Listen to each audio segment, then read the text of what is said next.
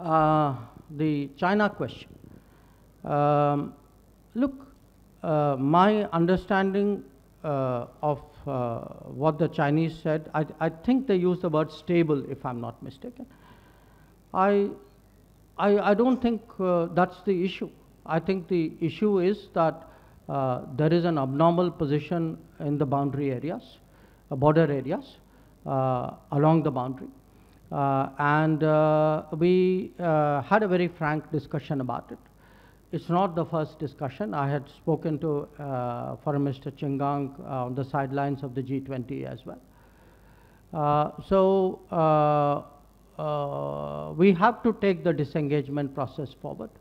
And I have made it very clear, frankly, publicly as well, and my, you know, what I say within the room is not different from what I say outside, which is that India-China relations are not normal and cannot be normal if the peace and tranquility in the border areas is disturbed. I, you know, I've been very, very clear about it. I've been very consistent about it. And I have not changed my position uh, on, at this meeting either.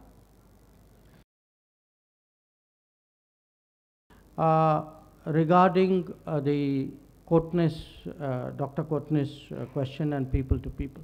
Look, again, you know, I, I think uh, uh, Arindam made the point. I mean, I've answered this in a way that relations today are not normal.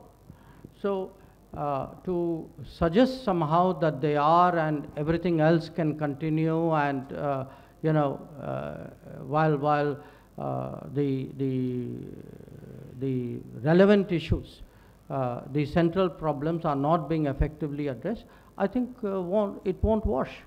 That there are issues we need to discuss. I, I think uh, uh, we, both countries need to be clear about it.